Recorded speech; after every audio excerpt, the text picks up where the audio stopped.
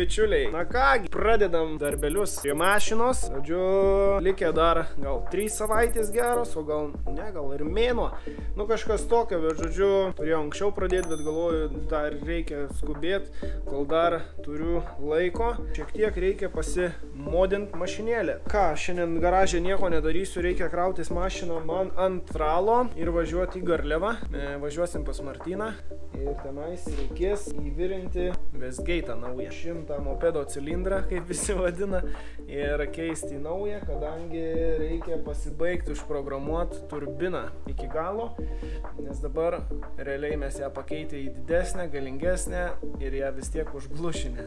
O užglušinę dėl to, kad mūsų Westgate'as, va šitas, šitas daiktas, nepaveža tokios turbinos ir nesugeba išmesti lėkto oro. Tai žodžiu, pakeisim didesniu ir tada reikės važiuoti pas valdą į Klaipėdą ir bandyti užsiprogramuoti iki galo ir manau pasikelt maksimaliai arklių, kiek tik jau galima šitam motorui, aišku, saugiai, kaip mes mėgstam. Reikia manyti, kad viskas pavyks. Tai žodžiu, ką reikia užsimesti naujus ratus ant mašinos, nes nusipirkau dar keturis naujus ratus, nes su aštuoniais senaisiais ratais. Nepatogus reikalas varžybų metu, kai reikia važiuoti permontuoti ir dar būna reikia atlaukti nemažą eilę. Skart tai nusprendžiau nusipirkti dar keturis ratus, viši kitokius, platesnius, kad tiktų mum 285 pločio padangos, nes ant tų šiek tiek dešros gaunasi. Tai, žodžiu, pasėmiau dar keturis naujus ratelius, tai dabar noriu eiti primatuoti, nes jų ir plotis platesnis ir, žodžiu, etas. Išnešimas, taip kitaip vadinamas, didesnis. Tai prisimiruosiu, kaip dabar su padanga. Aišku, užsimontavęs dabar 265 padangėlė. Nu tai tiks ir šitos padangos greičiausiai ir jos montuosis ant jos, nes 10 jot turim. Va, tai žodžiu, einam prisimiruot, kaip atrodys. Nu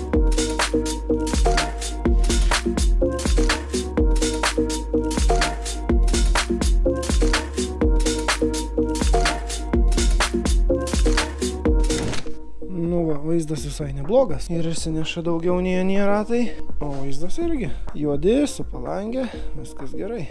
Strečio aišku tik daugiau gaunasi jau, plotis didesnis, bet su 285 padanga viskas labai gerai. Gerai, reikia eiti varyti stralą, pasitraukti su šitas detalės iš eterio ir vežtis mašiną į garliavą.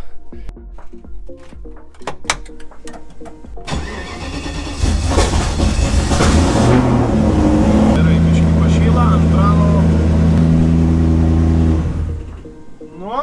kas čia dabar?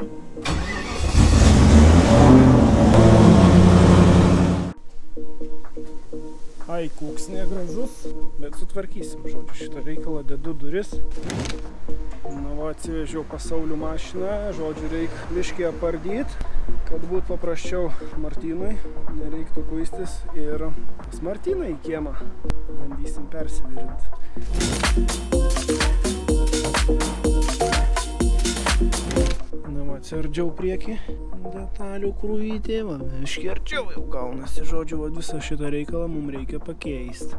Kažkur tai čia reikės jaučiu nupjauti, atviniosiu bintą ir visas šitas daiktas eis velniop. Iš vietoj šito pasikeis kitas naujas. Ir, žodžiu, taip pat duslintuvą reikės padaryti į apačią, lentą ir psio, man atrodo, dar reikės, na gal nemaišys, nors gal ir nuimsim, jeigu ką, bet spėjau, kad dar reikės ir nuimti šitą.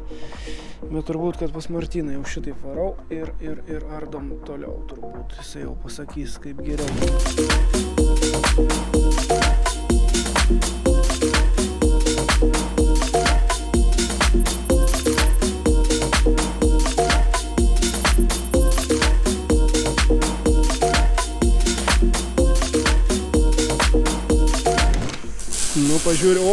Kokia balvankė surudijus. Tai va mūsų restriktorius, koks buvo inkištas.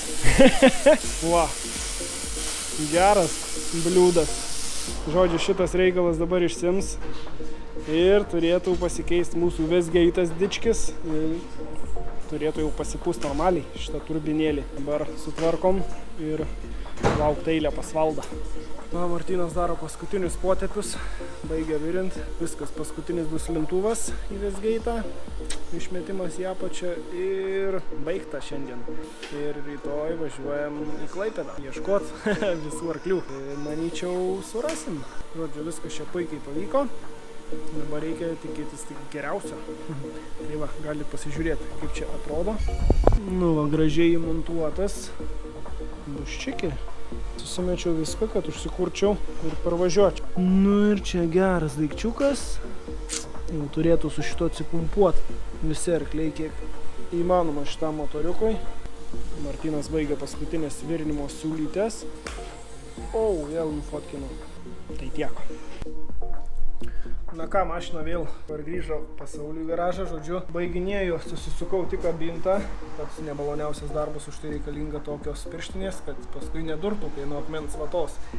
Tai susiviniojau bintą, dar apsibaigiu, apsirenku priekį, ant ralo ir į klaipėdą, žodžiu, dubliam oras biškai pagedo, lietus lyja, kad nebūtų vėl kaip kuršienuose pilna vandens. Gal, gal nebus, žodžiu, baigiu apsirinkti priekį, reikia varyti ant ralo kažkaip šiandien biškai susivėlinom, truputį planai mūsų pasijaukė, lemai jau pusę trijų. Na, žodžiu, dar naktis ilga, kaip sako.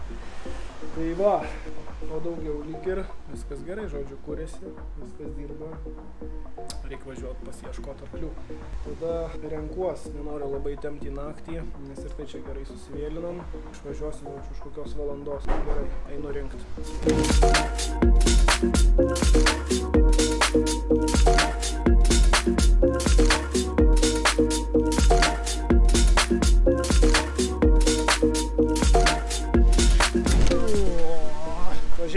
Į Klaipėdą, gavom lietaus biškį ties raseiniais, taip nevaikiškai įdomu, ar nebus vėl pilnos bobinos vandens, bet stengiamės labai greit nevažiuoti, tai gal nebus.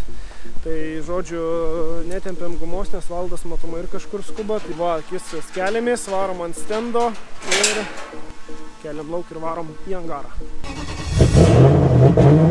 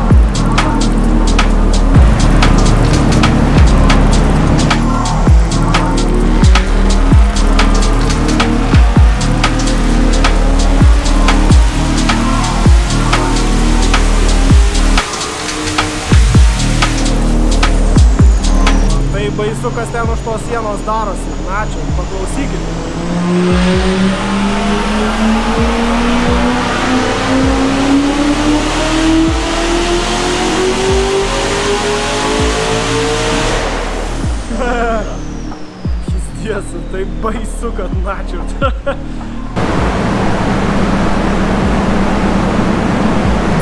Antilago piktesnio nereikia? ne, užtenka. Ten. Jo, jo. Jeigu užtenka, tai... Okay. Skaičiai geri, žiauriai. Na va, viskas, mašina ant ralo, viskas gavosi neblogai, net per daug gerai. Radom sočiai arklių, pabandykit spėt. Spėt? Ne, net spėt. 700 arkliukų. Nu, nesveikai, nesveikai galiu pasakyti, tai dabar taip norisi kažkur pabandyti, pasitestuoti. U, bus reikalų. Tai va, viskas, važiuojam namo, nes jau grįšim ant nakties. O, šitas tai geriausias.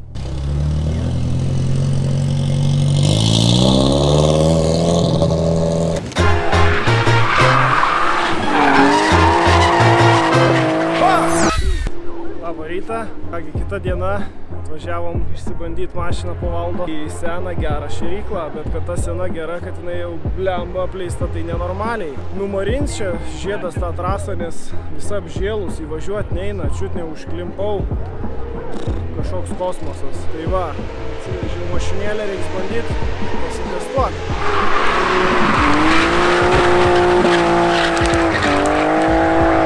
Įprastai Hebra iki bretų sprogdina padangas. Ką, ir mes taip važiavom. Bandysim pasitestuoti, žiūrėt ar viskas veikia gerai. Mašina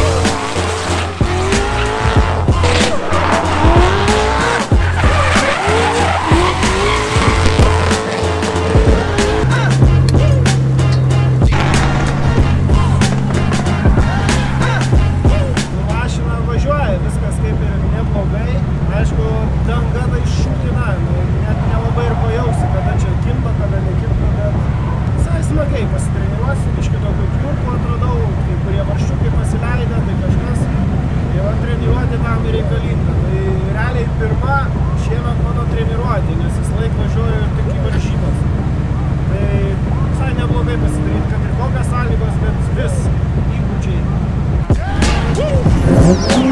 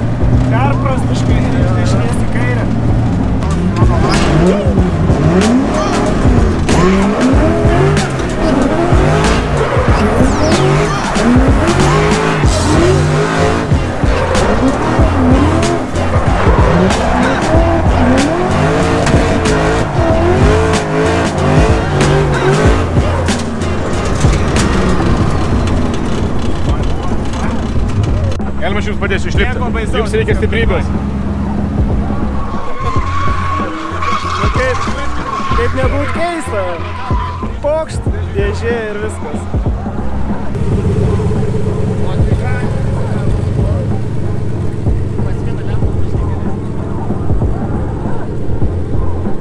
Na tai ką, baigiam treniruotę, visai smagiai susivažinėjom šiandien, beveik visus ratus suvažinėjau.